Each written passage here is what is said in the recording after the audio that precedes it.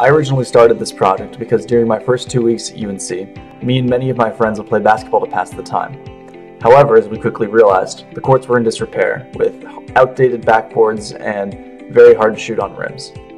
Working together with both UNC Housing and RHA, we've been able to carefully fund and create a project that would improve the basketball courts across campus and lighten the Carolina experience for all the residents.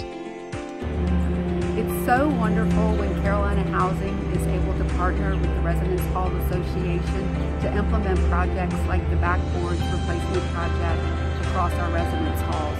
It's, it's just another great example of what strong partnership and collaborative teamwork can accomplish. We are so excited to be partnering with Carolina Housing to add new backboards and new rims across campus. If you're interested in joining RHA, check out our website and you can join community government, be a community governor, or join one of our external boards.